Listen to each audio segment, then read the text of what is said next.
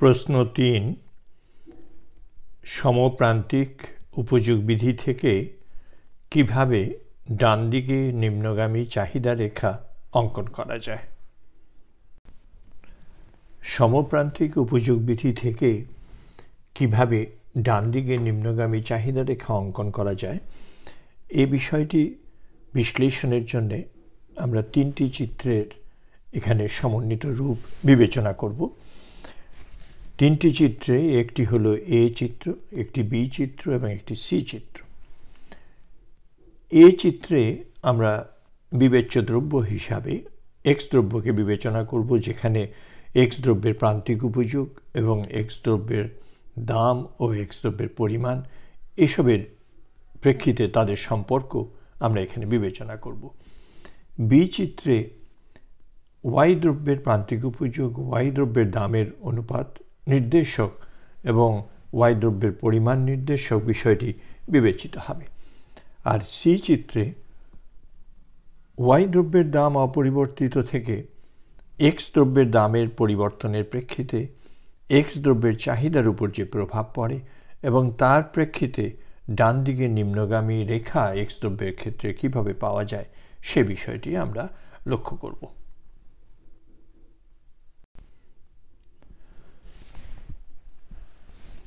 এ চিত্রে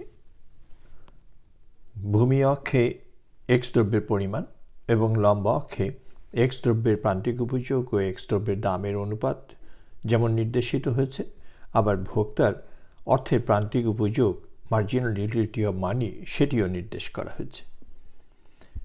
বি চিত্রে ওয়াই দ্রব্যের পরিমাণ নির্দেশিত হয়েছে ভূমি অক্ষে এবং লম্বা অক্ষে ওয়াই দ্রব্যের প্রান্তিক উপযোগ, ওয়াই দ্রব্যের দামের অনুপাত এবং ভোক্তার প্রান্তিক উপ অর্থের প্রান্তিক উপযোগের পরিস্থিতি দেখানো হয়েছে লম্বা অক্ষে আর সি চিত্রে লম্বা অক্ষে এক্স দ্রব্যের দাম এবং ভূমি অক্ষে এক্স দ্রব্যের চাহিদার পরিমাণ নির্দেশিত হয়েছে। সি চিত্রে আমরা এই এক্স দ্রব্যের দাম ও চাহিদার পরিমাণের প্রেক্ষিতে আমরা চাহিদা রেখা নির্দেশ করব, যা হবে ডান দিকে নিম্নগামী।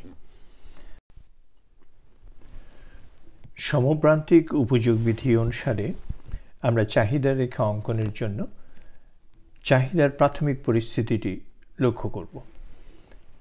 সমপ্রান্তিক উপযোগ বিধি অনুসারে ভোক্তার কাম্যতা বা ভারসাম্যের শর্ত হল M U X by P X equals M U Y by P Y equals M U M হতে হবে। অর্থাৎ এক্স দ্রব্যের প্রান্তিক উপযোগ ও দামের অনুপাত সমান হবে ওয়াই দ্রব্যের প্রান্তিক উপযোগ ও তার দামের অনুপাতের সাথে এবং তা আবার অর্থের প্রান্তিক উপযোগের সঙ্গেও সমান হবে। অর্থের প্রান্তিক উপযোগ স্থির বলে অনুমান করা হলো এবং এখানে চিত্রে ও এম নট অর্থের প্রান্তিক উপযোগ স্থির ধরা হয়েছে এবং সেই অনুযায়ী যেহেতু তা স্থির থাকে কাজে এম ইউ এম এই রেখাটিকে আমরা আনুভূমিক অক্ষের সমান্তরাল হিসাবে নির্দেশ করলাম। এই চিত্রে M U X by P X one রেখার ই বিন্দুতে আমরা লক্ষ্য করি যে এক্স দ্রব্যের পরিমাণ যখন কিউ এক্স ওয়ান তখন M U X by P X one অর্থাৎ ই কিউ এক্স ওয়ান এই দূরত্ব সমান হচ্ছে অর্থের প্রান্তিক উপযোগের সঙ্গে, অর্থাৎ এম ইউ এম এর সাথে সমান হচ্ছে। এবং যেহেতু দুটি দ্রব্য বিবেচনা করছি আমরা, অর্থাৎ ওয়াই দ্রব্য বিবেচনা করছি, তাহলে ওয়াই দ্রব্যের প্রান্তিক উপযোগ দামের অনুপাত হলো E one Q Y one এই দূরত্ব এবং এক্সের এই দূরত্ব ই কিউ এক্স ওয়ান পরস্পর সমান, এবং তা আবার অর্থের প্রান্তিক উপযোগেরও সমান, কাজে এখানে ভোক্তার ভারসাম্যের শর্ত ই ও ই ওয়ান প্রেক্ষিতে প্রতিপালিত হয়েছে। এখন এই ভোক্তার সমপ্রান্তিক উপযোগ বিধি অনুসারে যে কাম্য পরিমাণ এক্সের হলো কিউ এক্স ওয়ান এবং ওয়াইয়ের হলো কিউ ওয়াই ওয়ান সে প্রেক্ষিতে আমরা বলতে পারি যে সি চিত্রে দাম যখন এক্স দ্রব্যের দাম যখন পি এক্স ওয়ান তখন এক্স দ্রব্যের চাহিদার পরিমাণ হলো কিউ এক্স ওয়ান যা এ বিন্দুতে দেখানো হয়েছে। এই এ বিন্দুতে তাহলে আমরা চাহিদার প্রাথমিক পরিস্থিতি নির্দেশ করতে পারছি। এখন চাহিদা রেখা অঙ্কনের জন্য আমাদের চাহিদা রেখা বরাবর আরেকটি পরিস্থিতি জানতে হবে, পরিবর্তিত পরিস্থিতি জানতে হবে। অর্থাৎ দাম কমলে কি হয়?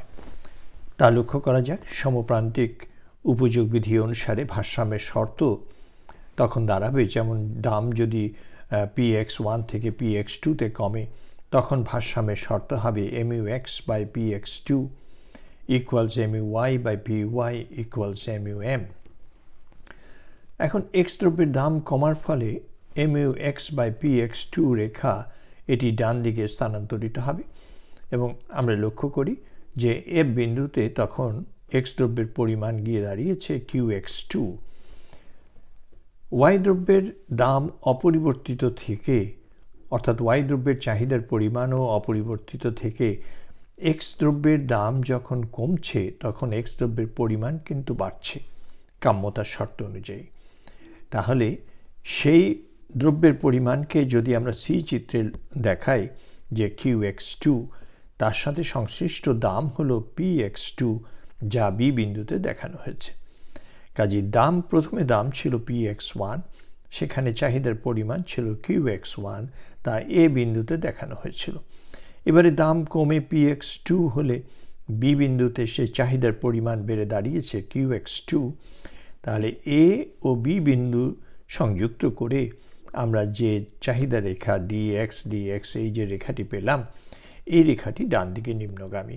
কারণ দাম কমলে চাহিদার পরিমাণ বাড়ে, আর চাহিদার পরিমাণ বাড়ার কারণেই কিন্তু প্রান্তিক উপযোগ ও দামের অনুপাত যে রেখা, সেই রেখাটি ডান দিকে স্থানান্তরিত হয় এবং সমপ্রান্তিক উপযোগ বিধির ভারসাম্যের শর্ত প্রতিপালনের জন্যে লক্ষ্য করা যায় যে দাম কমলে এক্স দ্রব্যের চাহিদার পরিমাণ বাড়তে হয়।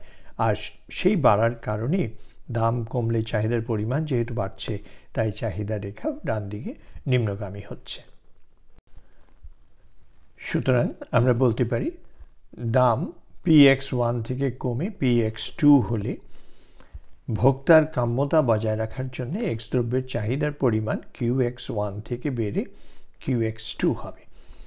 আর তার প্রেক্ষিতে তখন ভারসাম্যের শর্ত দাঁড়াবে M U X by P X one equals M U X by P X two equals M U Y by P Y equals M U M তাহলে এই যে ভারসাম্য বজায় রাখার প্রেক্ষিতে আমরা বলতে পারছি যে এক্স দ্রব্যের দাম কমলে এক্স দ্রব্যের চাহিদার পরিমাণ বাড়তে হবে যাতে সে কাম্যতা শর্ত বজায় থাকে।